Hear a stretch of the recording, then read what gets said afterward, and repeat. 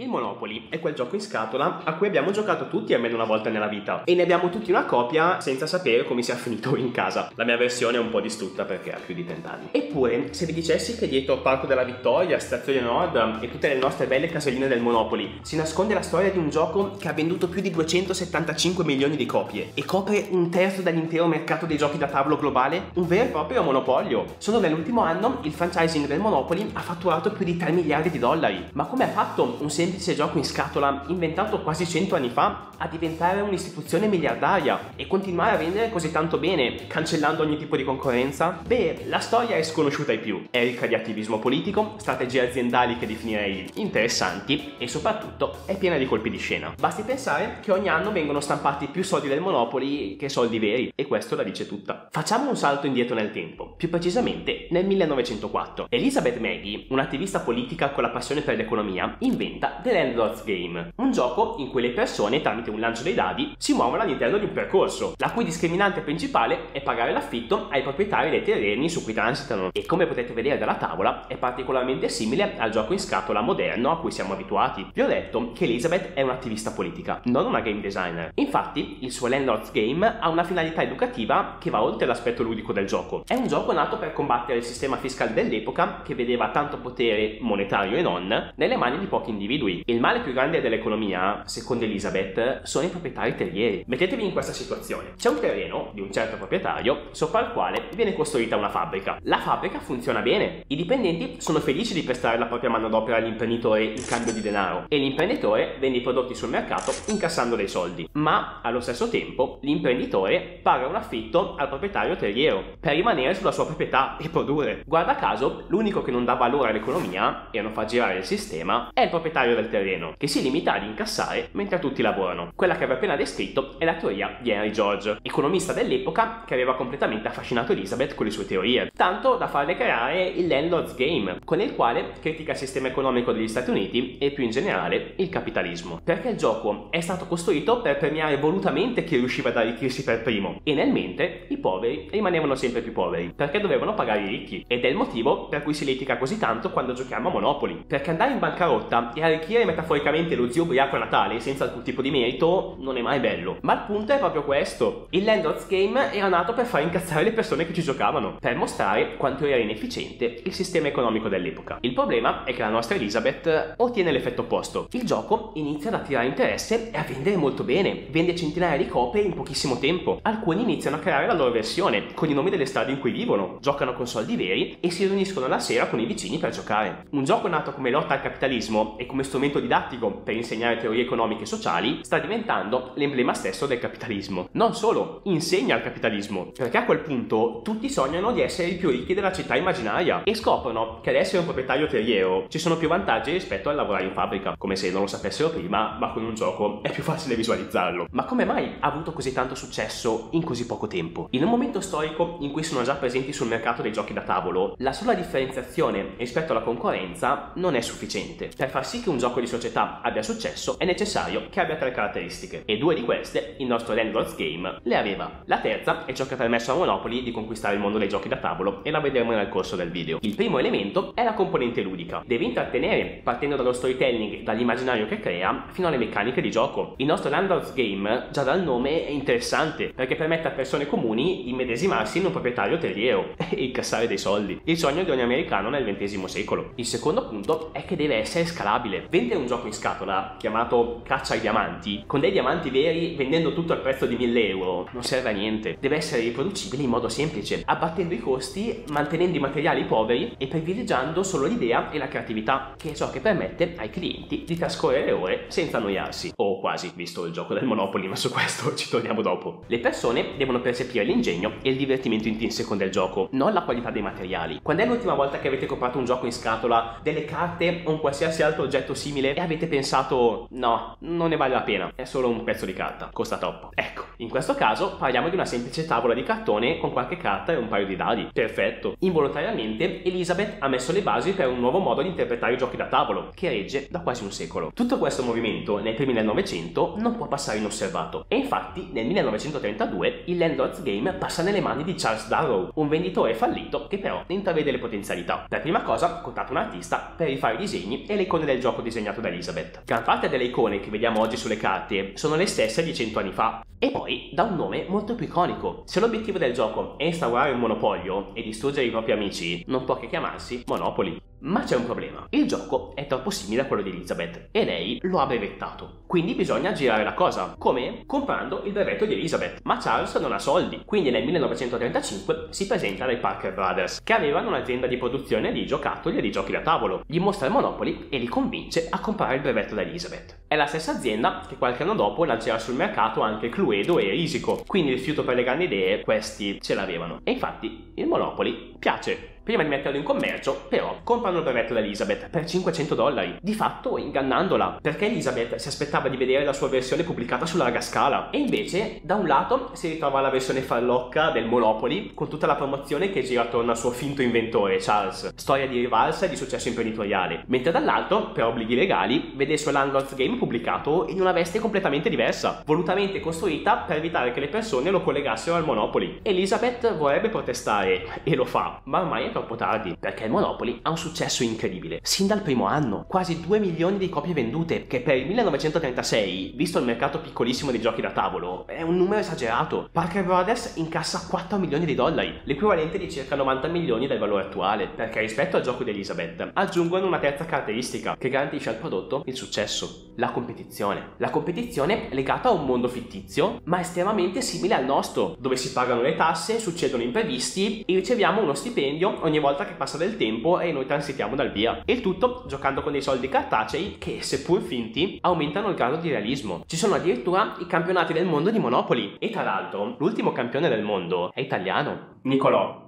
mi devi dire subito una cosa. Come cavolo hai fatto a diventare il campione mondiale di Monopoli? Ciao, è una cosa che è successa oramai nove anni fa, perché è successo nel 2015, che ho vinto ovviamente il mondiale. Ero che cazzeggiavo al computer, è venuto fuori un banner che dice ah, sei forte a Monopoli, vuoi vincere un viaggio in Cina? Poi io sì, però per arrivare al mondiale mi sono prima iscritto ai regionali, sono arrivato terzo ai regionali, poi l'anno dopo sono andato ai nazionali, ho vinto i nazionali, mi hanno pagato il viaggio in Cina per fare i mondiali e ho fatto il mondiale. È il costruire una piccola società all'interno di un gioco in scatola, in grado di rappresentare il successo e il fallimento monetario senza alcuna vera conseguenza, facendo sognare inconsciamente le persone su imprese, possedimenti e abitazioni, è forse la caratteristica principale per cui il Monopoly è diventato così tanto popolare in così poco tempo. Il gioco è così giocato da più di 80 anni perché determinate dinamiche e, in- e insegnamenti sono, sono attuali devi, devi, sapere come investire anche nell'immobiliare, ricevi una sorta di stipendio quando passi dal via, devi, essere occulato con le finanze perché no. appena hai un imprevisto puoi scannare tutto. Non vince il migliore, hai una quantità di denari limitata mm. e devi fare delle scelte. Vende così tanto bene che viene esportato in ogni parte del mondo, fin dal primo anno. E qui arriva un'altra genialata. Per vendere in tempi brevi anche all'estero è necessario adattarsi alla territorialità e alla cultura delle nazioni in cui veniva promosso. Quindi, a seconda della nazione, inflazione, i soldi vengono adattati alla valuta locale e le caselle prendono il nome delle vie storiche rappresentative della capitale, ad esempio. Nel mio vecchio Monopoli degli anni 90 le banconote sono lire e le strade hanno nomi tipici italiani. In Italia il gioco arriva in piena epoca fascista e infatti possiamo leggere strade incredibili come Largo Littorio e Via del Fascio, ma questa è un'altra storia. Poi quando è andato a Cuba, sotto il nome di Capitolio, Castro non, aveva capito benissimo che era una critica al capitalismo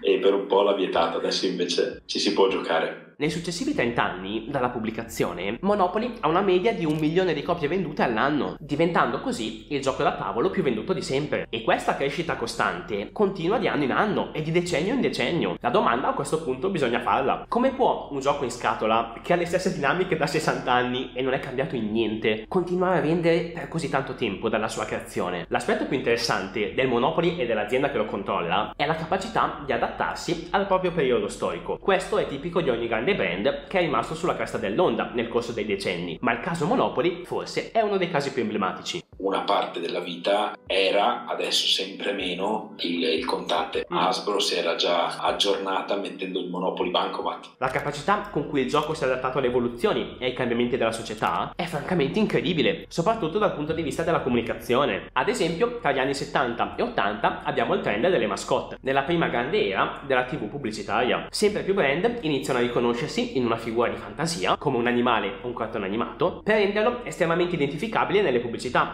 negli eventi. Le Olimpiadi iniziano a creare mascotte proprio in questi anni, con l'idea di creare un elemento che possa rimanere più a lungo nella testa delle persone. E il Monopoly non è da meno. Ecco quindi che nasce Mr. Monopoly. Ci sono cambiamenti politici o religiosi in una nazione? Non c'è problema. Cambiamo la versione, cambiamo leggermente le regole e gli imprevisti ed ecco che il gioco continua ad avere senso. Riesce ad adattarsi come un camaleonte a qualsiasi tipo di situazione. Ah, loro quello è sicuro, cioè sono sulla cresta dell'onda da, da sempre. Per esempio esempio in Inghilterra i campionati nazionali li hanno fatti su un double decker e giravano per le città, tipo mm. circo in fiera, e tu andavi a giocare dentro il, l'autobus a due piani. Il prodotto deve continuare ad avere senso in ogni luogo, indipendentemente dalla nazione e dalla situazione. Un po' come NordVPN, il servizio che vi permette di navigare in sicurezza accedendo da ogni server in ogni parte del mondo. L'ho utilizzato anche per realizzare questo video e ha deciso di sponsorizzarlo. Ad esempio, ho trovato un documentario super interessante sulla storia del Monopoly, ma disponibile solo per gli Stati Uniti. Quindi ho usato NordVPN VPN connettendomi come se fossi negli Stati Uniti e ho potuto guardarmelo senza problemi. È una feature che utilizzo anche quando devo acquistare qualcosa online o fare abbonamenti per servizi che riguardano il mio lavoro, sia come content creator sia come professionista. Ogni tanto, connettendomi da altre parti del mondo, mi è capitato di trovare dei prezzi più bassi. È un servizio che adopero anche quando mi sposto per lavoro. Mi è capitato diverse volte di lavorare in treno o in aeroporto, connettendomi al wifi pubblico e ho sempre usato una VPN per proteggere i miei dati e bloccare in automatico siti web pericolosi o pop-up fastidiosi. Sarà capitato sicuramente anche a voi di dovervi connettere a wifi pubblici e per questo, se volete usare NordVPN e supportare il mio lavoro qui su YouTube, potete cliccare il link in descrizione per avere 4 mesi gratis su un abbonamento biennale. Se non sarete soddisfatti potete chiedere un rimborso nei primi 30 giorni. Torniamo alla storia. Siamo negli anni 90 e questa crescita repentina culmina con l'acquisizione di Parker Brothers da parte di Hasbro, che fa del Monopoly il proprio prodotto di punta. È qui che il monopolio si concretizza, perché a fine anni 90 si stima che Hasbro abbia una quota di mercato sui giochi in scatola pari all'85%, perché oltre al Monopoly possiede giochi come Twister, Battaglia Navale, Cluedo e perfino Magic. Per darvi un'idea del potere di questa azienda, la Federal Trade Commission degli Stati Uniti ritiene ci siano evidenze di monopolio sopra quote di mercato del 50%. Qui siamo all'85%. E qual è uno dei principi del monopolio imprenditoriale? Che se una cosa funziona bene, non la devi cambiare. È uno dei dettami della macroeconomia. Il monopolista ha una fetta di mercato talmente elevata che nessuno è in grado di levargli lo scetto progetto. Quindi la Hasbro, per via di questo potere, può permettersi di non innovare più il gioco e non investire in ricerca, perché tanto conserverà comunque la sua quota di mercato. Il Monopoly, insieme agli altri giochi già citati dall'azienda, era talmente profittevole che ha reso inutile lo sviluppo di nuovi giochi. La si è limitata a comprare diritti su giochi non prodotti da loro e inglobare altre aziende. È il motivo per cui vediamo così tante versioni speciali del Monopoly, perché è più semplice vendere un prodotto che tutti conoscono, ma attraverso delle versioni particolari, in modo da sfruttare l'immagine di altri per vendere me stesso come il Monopoly di Breaking Bad, quello sui meme di SpongeBob, fino ad arrivare alla versione Miss Monopoly, la nuova icona femminista. Questo garantisce meno sforzo pubblicitario, meno costi di sviluppo e più visibilità grazie all'audience del marchio con cui collaboro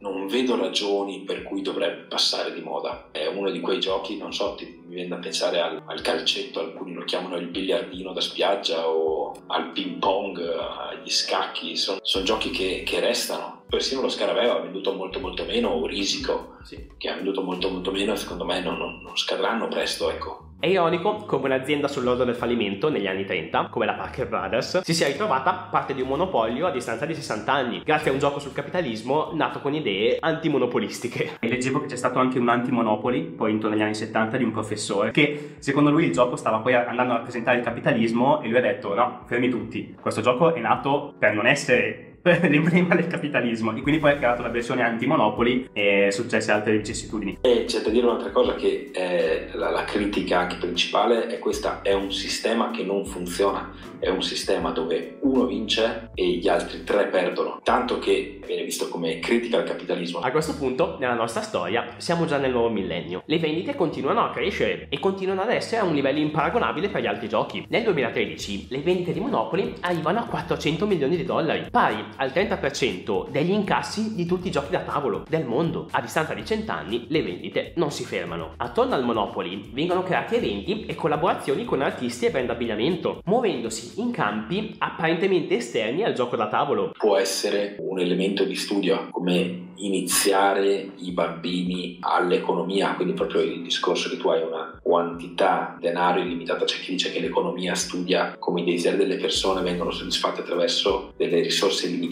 La, la prima cosa che hai nel gioco è una risorsa limitata, cioè che è il tuo denaro. Quello che ti insegna è che con il lavoro, quindi girando attorno al tabellone, superando la casella del via, hai uno stipendio. Con lo stipendio magari riesci a vivere, ma se devi fare dei soldi devi investire e creare delle entrate passive. L'ultima trovata della Hasbro è del 2023. Come per ogni gioco fisico che si rispetti che ha successo, non può mancare ovviamente la componente digitale e il Monopoly non è da meno. Prima nella sua veste classica e poi come Monopoly Go, una versione che sicuramente vi sarà uscita nelle pubblicità perché è invaso qualsiasi social nell'ultimo anno. In sostanza è una versione dopaminica del Monopoly. Non possono ovviamente mancare le transazioni in app per acquistare punti bonus e accelerare le tempistiche, grazie alle quali Monopoly Go ha fatturato 2 miliardi di dollari in 10 mesi dal lancio e vi assicuro che questa non è una pubblicità al gioco. Tutti questi fattori hanno portato alla creazione di un brand estremamente forte e riconoscibile, ma soprattutto l'hanno portato a creare un'istituzione. In ogni abitazione oggi c'è un Monopoly ed è il primo gioco che ci viene in mente quando pensiamo al termine gioco da tavolo. Ho voluto raccontare questa storia da un punto di vista imprenditoriale, perché spesso viene sottovalutata o non è conosciuta tendiamo a sottostimare il valore di un oggetto come questo, semplicemente perché lo diamo per scontato. Ma dietro a questi soldi finti si nascondono delle strategie aziendali e di marketing ben precise, che hanno permesso a questo gioco da tavolo di essere a distanza di quasi 100 anni il gioco da tavolo più venduto del mondo. Lo so, questo video è completamente diverso dagli altri, per me è un test. La storia l'ho trovata molto interessante e ho voluto comunque portarla sul canale. Fatemi sapere con un like, un commento, un'iscrizione al canale se volete vedere altre storie simili, perché a me personalmente piacerebbe parlarne. Noi ci vediamo al prossimo video.